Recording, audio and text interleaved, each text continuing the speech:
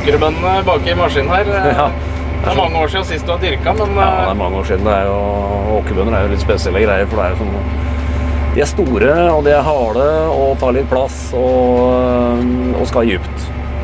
I hvert fall dypere enn korn. Men det er jo en interessant vekst. da. Det er jo proteinvekst som eh, vi helt klart kan dyrke mer av i Norge. Så eh, i dette området i Vestfold har det vært dyrka åkerbønder i, i mange år. Så det begynner å bli Noen er veldig gode på det. Jeg har ikke dyrka på veldig mange år, så jeg er ganske rusten. Men uh, det kommer seg. det er kanskje året for å dyrke litt åkerbønner igjen. Ja, flere grunner. Både det at vi trenger, eh, trenger proteinvekstene, eh, og så er jo det fine med det at det trenger ikke gjødsel. Den produserer det sjøl. Bakterieknoller på røttene som, eh, som gjør at han produserer sitt eget, eh, eller sin egen nitrogen og det han trenger. Og det er jo fint da, med de eh, gjødselprisene vi har nå.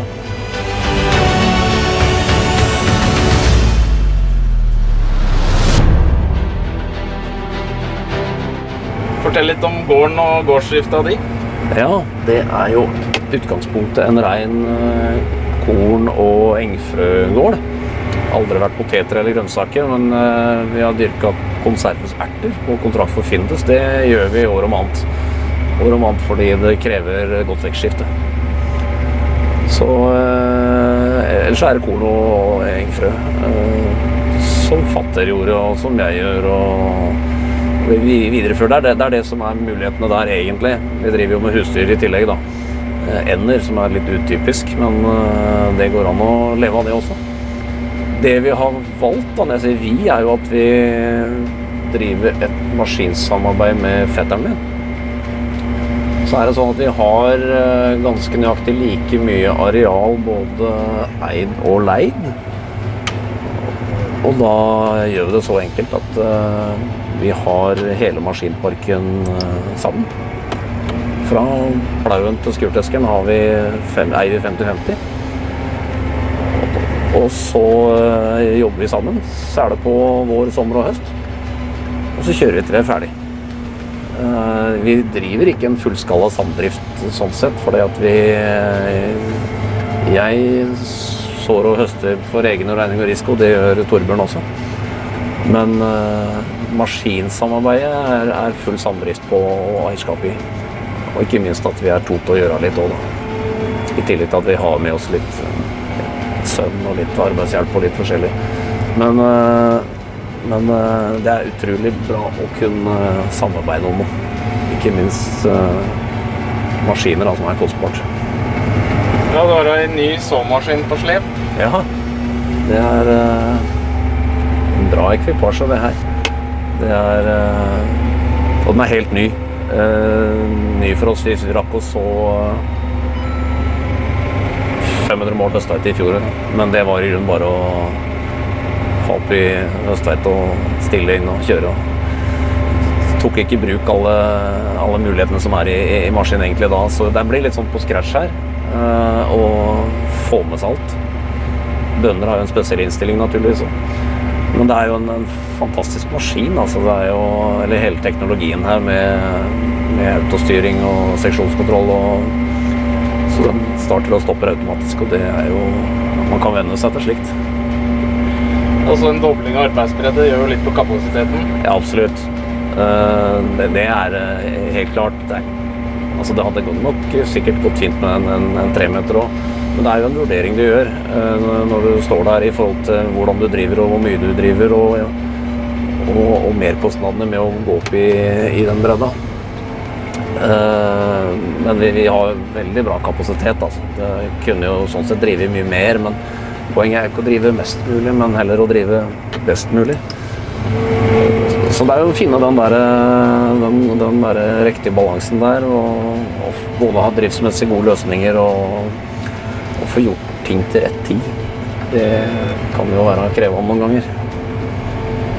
Ja, Nå er vi jo på 21. april, og det er vel eh, Dere har vært tidligere ute tidligere, år, men hvordan ser våronna ut for deres del nå?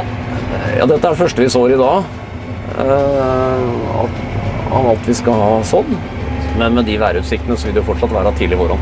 Det er jo ikke regn på tidagsvarselet, og det er litt sånn eh, Dessverre. Nesten, for det kan fort bli for tørt. Nå sitter vi og kjører på høstbløksle, og det er eh, Det er jo råme nedi her, men jeg har nok bekymra om det er tilstrekkelig spireråme for de bønnene, som er store, store bønner. Eh, Høstveiten også ser jo fin ut, men det er klart eh, den, den også trenger litt, eh, litt vann. Altså. Så det er jo ta det været som er. Det er i hvert fall behagelig når det er Når det er stabilt og fint i, i morgenen. Altså. Det er jo Du bare kan kjøre. Du bør ikke liksom planlegge for mye om det regner i morgen ikke.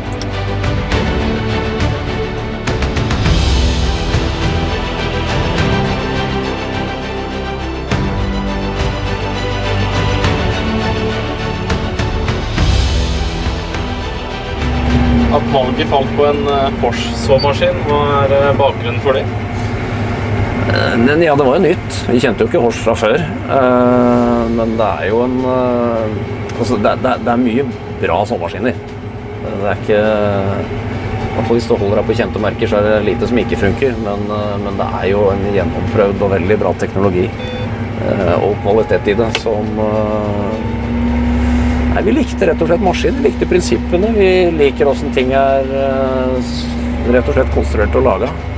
Uh, også prinsippet her med sålabben eh, helt bakerst bak bærehjula er noe vi, det var noe vi ønska å ha. Eh, så- det er en kombinasjon av to ting. Eh, Sikkert flere, men det er det med bra, bra maskiner, god, god teknologi og godt forhandlernettverk. ikke sant?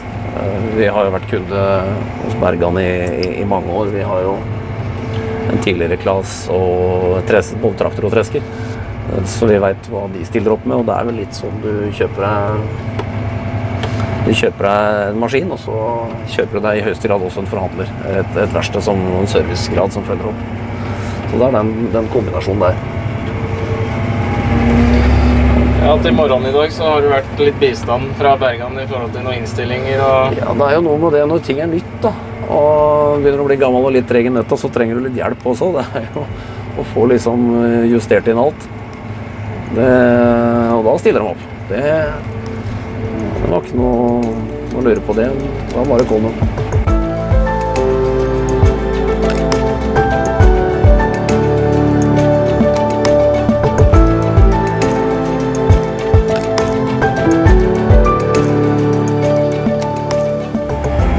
Prinsippet i å ha sågeratet bak bærehjula, men hva annet så dere etter når dere skulle kjøpe ny såmaskin? Det, det er en, en blanding av flere ting. Altså, det er jo eh, kapasitet, det er kvalitet, det er eh, kontroll på såfrø. Altså plassering, resultat, øh, brukervennlighet. eh, noen er veldig opptatt av farget maskiner, det er ikke vi i det hele tatt. Men, eh, men eh, totalpakka var eh, tiltalt oss veldig her. Så er det jo en en veldig gjennomprøvd og, og, og god teknologi. Altså det, er, det går noen Horse-maskiner rundt her, og det, det er strålende fornøyde kunder som har hatt dem i mange år. Og det er jo på en måte Det, det sier jo litt, det. Dere har valgt noe pakkehjul i midten foran, eh, jordarbeidingsskåler og et eh, grasfrøaggregat. Ja. For å begynne med det siste, så er jo det av den åpenbare grunnen at jeg er jo en engfrødyrker. Uh, og så blir det egentlig Jeg tenker på sikt så blir det mer og mer krav til uh, fangvekster, og at det blir en mer naturlig del å tenke i omløpet. Så det var ganske naturlig å ha på gressapparat. Uh, Bærehjula foran syns jeg er greit for å ha både stabilisere maskin og Det er mellompakker, da, det er ikke fulle bærehjul. eh, For å stabilisere maskinen. og og, og det har jo også en pakkeeffekt, naturligvis, mellom trakthjula. Og så var det en, en kombifunksjon eh, med Hva skal jeg si den som er vanlig i Norge, med at du har egen gjødsellabber istedenfor alltid én. Eh, men separate skåler er kanskje en av det- Jordarbeidsskåler var faktisk en av de litt viktige tinga for at også blei denne. For vi ønska å ha med skålredskap som uh, gjør jordbearbeiding. Altså som ikke bare at uh, Nei, vi ønska, å ha skåler vi kan styre separat, og ikke som er en del av gjødsel- eller såaggregatet. Og det er litt sånn vi har savna over noen år. Med litt hardere så har vi på med skålene litt. Her har jeg kjørt og snudd litt.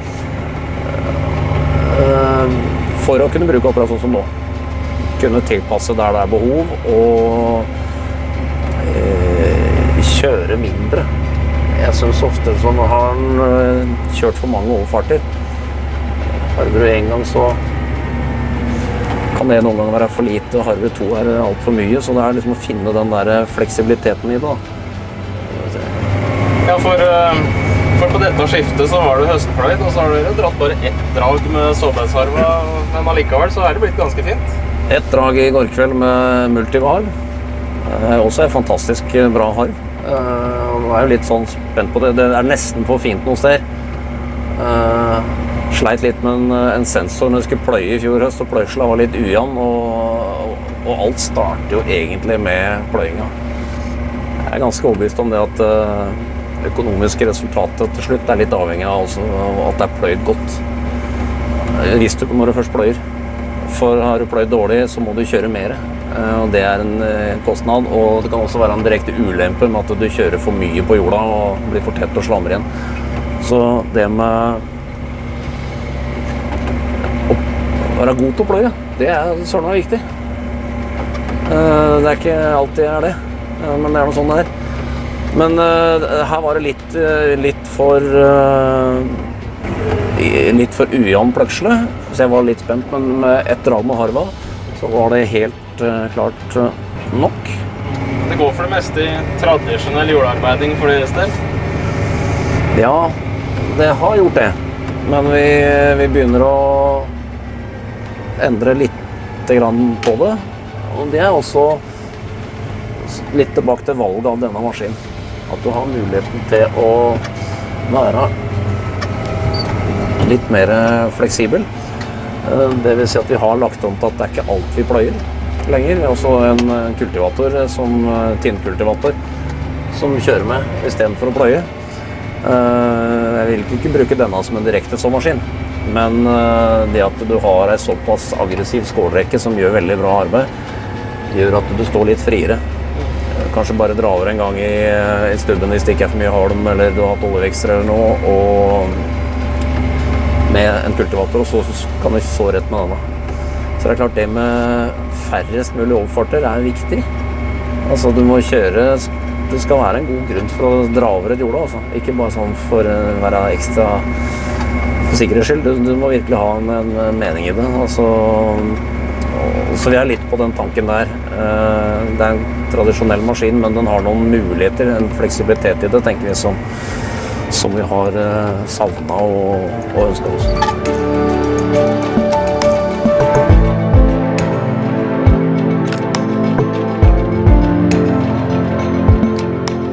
Med ny teknologi da, og denne autostyringa så har det muliggjort at dere sår vendetegn til slutt, og det er du i gang med nå? Ja, og det er spennende. Det, det føles fortsatt veldig som det er på sånn forsøksstadiet med med både autostyring. Det er vi jo ikke vant til fra tidligere, men, men det å legge ventegn til slutt, og det, det, har jeg veldig trua på. Mye av jorda mi er utsatt for pakking og, og eller slamming. Og ser markant da når du har dårligere spiring på, på ventegn noen ganger. Nå er det så tørt at det spiller nok så stor rolle. Og i kombinasjon med denne såmaskinen, som har såaggregatet helt bakerst bak værhjula, så, så er det også minimert risiko. Men det er klart, da Da legger du såfrøet her i, i, løs jord. Fordi at du kjører når du kjører til slutt, istedenfor at du driver og pakker og snur og tråkker oppå det. Så det er det å følge med alt her. Vi er jo så freidige og utfordrer deg til å sitte og snakke samtidig som du kjører denne skissen. Så. Ja, det blir fort dårlig på to ting. Det, det, det blir noe teknisk svikt her, og jeg blir stoppa med å prate, så det kan bli litt sånn i begge ender. Vi får gjøre et forsøk. På stort sett. det går så bra, så. Men eh, til å dra denne såmaskinen, så har dere også investert i en ny traktor, og da falt valget på Klas. Ja. Ja, nei, det, jeg syns vi har et bra sett uh, nå. Jeg kjenner jo Klas fra før. Har jo en uh, Det begynner jo å bli en ordentlig gammel Klas. Og det er en av de første som, uh, som blei solgt den gangen. Men, men kjent med kvaliteten, liker løsningene der også. Og nok en gang da en har et forhold til, til en forhandler som uh, syns det er vel verdt å satse videre på. Vi har jo skurtreskeren vår eh, også en, en Tucano.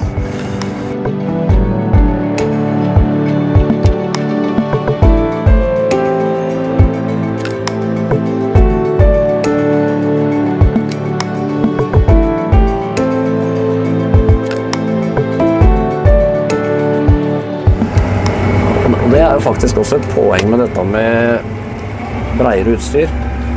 Færre ganger du behøver å tråkke over jordet med en traktor. Det syns jeg er et, et poeng i seg sjøl. En seks meter såmaskin, da skal du ha noe krefter foran. Jeg merker at det henger bak.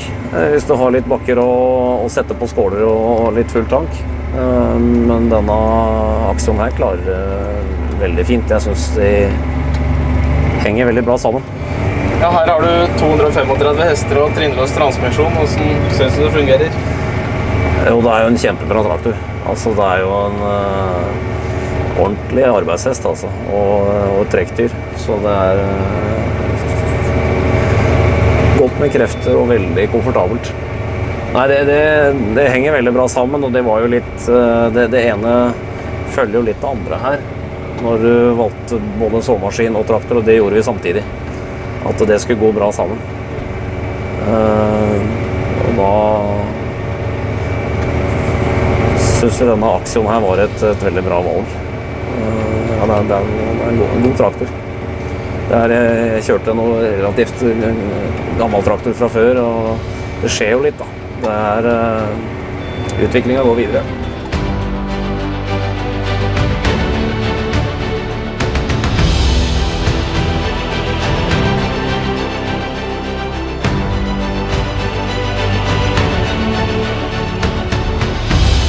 Det kommer til dekkutrustning, da, så har du valgt noen store, store hjul. Ja. Jo, nei, men det, det, det er en tung traktor. Eh, Framfor alt da du skal trekke et tungt menn, og da jo, må du ha ordentlig bakkekontakt. Og størst mulig gripeareal. Så marktrykket her er, det er viktig å ha fokus på det. Eh, Derfor har vi valgt 800 V-hjul. Eh, Mange kjører jo med tvilling. Og det fungerer jo helt sikkert bra. Du får et veldig stort areal på det, men det er litt med framkommelighet til vei og sånt nå, da, som er litt mer trøblete. Så vi tok et valg om at øh, vel, vi setter på 800 V-hjul, som øh, er jo laga for å kunne gå med lite, lite dekktrykk. Og da flyter ut og får et veldig bra stort areal. Eh, ikke akkurat noe egnet å pløye med. Eh, får ikke lurt det hjulet noe særlig ned i plog for, men, men samtidig så, er det, så fungerer det veldig bra. Uh, Hva for noe lufttrykk er det du kjører med i dette hjulet her? Nei, her tror jeg mm, rett over 0,6 tror jeg vel jeg har her. Så du må bare, og på jorda er det helt nydelig. Flyter godt og bra gripeevne og, og, og får lavt marktrykk. Men du må jo bare da sinne sette vei, da. For det er klart du kan ikke drive og kjøre i 50 km med det trøkket der. Det, det er de ikke laga for. Men jeg har jo sånn uh, airbooster som, eh, med hurtigventiler som er kjapp å justere dekktrykket. Det er jo det er jo luft på traktoren, så da er det jo enkelt. Da har jeg jo alt jeg trenger med meg. Du må ikke hjem i verksted for å, eller på bensinstasjonen for å korrigere, og da, og da blir det gjort. Nei, det, vi valgte å prioritere litt på, på dekk. Dekk som er veldig gode på jordet. Det er her vi skal være mest. Nå har dere kjørt en sesong med traktoren. Hva er eh, erfaringene hittil? Nei, det er en flott traktor. Altså, det har jo uh, trekkraft, uh, respons, uh, komfort uh, i, i massevis. Og vi har jo også ei, tinnekultivator, og skal den gjøre litt ordentlig jobb, så er du avhengig av å holde litt fart. Og da må du også ha noen å. Så alt henger jo sammen her. Uh, nei, jeg er veldig fornøyd med, med traktoren. Det en uh, Det visste jeg vel på forhånd at det var en god traktor, men uh, har i hvert fall innfridd veldig til forventningene.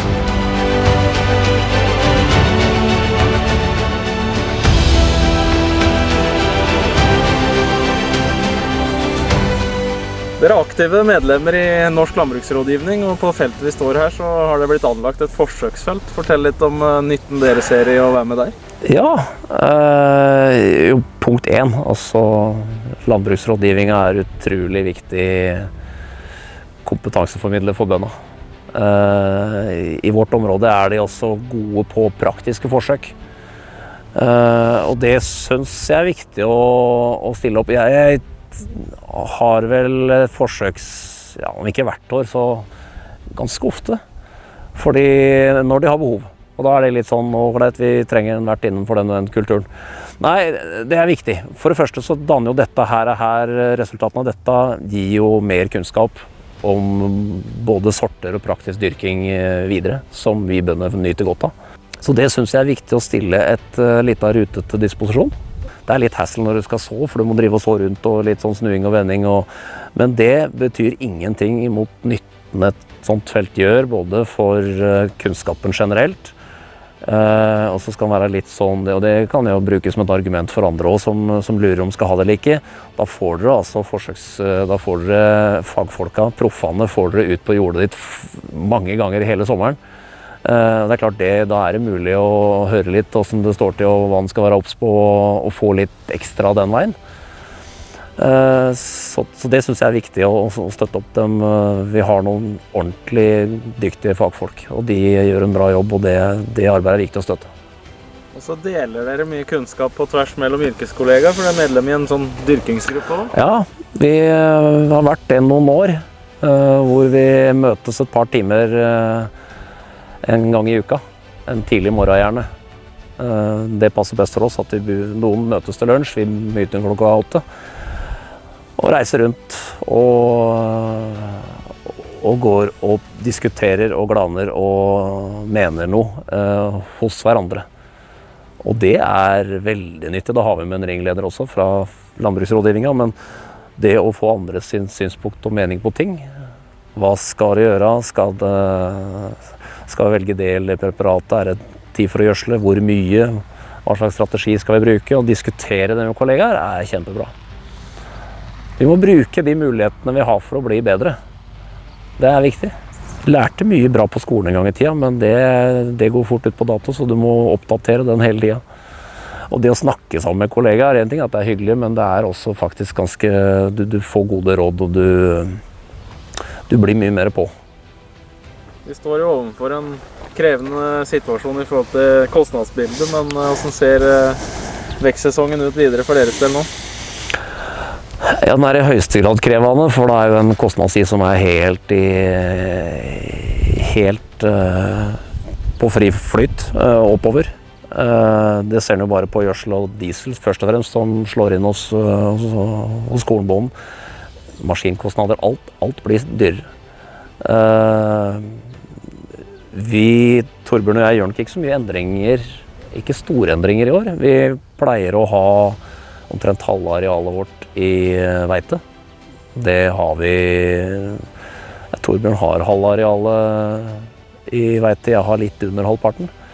Men jeg har jo da eh, åkerbønder isteden. Og det, det, er to sider av det. Både at det er behov for proteinvekster, men også det at du sparer gjødsel her.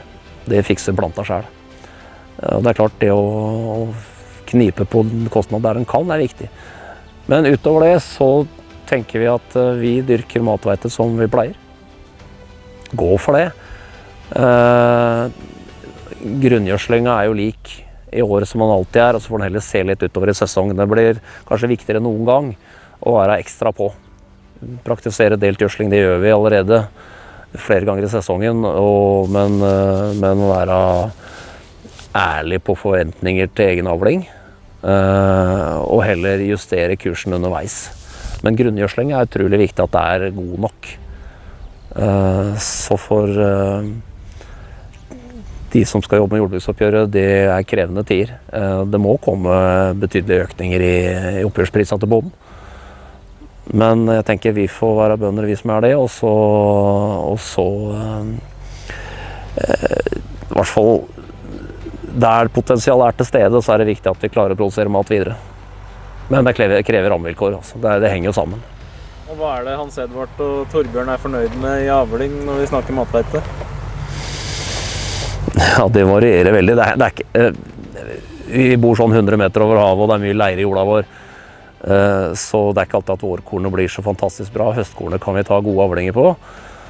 Men, eh, men eh, åra etter hverandre så ligger vel snittavlinga mellom 500 og 700 kilo. Det er vel særdeles sjelden vi er noe høyere. Så da er det, hvis det er på en måte litt limiten, så er det om å gjøre å få til det på best og billigst måte, da. Det, det blir jo litt slik. Vi får krysse fingra for gode avlinger. Ja, det må vi. Det må vi. Vi er i hvert fall en bra start. Får vi litt regn og litt sånn passe utover nå, så er vi godt i gang. Men eh, det at vi veldig, I dette området så er jo veldig mye av våronna nå unnagjort i løpet av et par uker. eh, Når det er stabilt vær og varmen er kommet. Så da bør vi ha en god vekststart, i hvert fall. På sesongen. Fortsatt god våronn. Jo takk.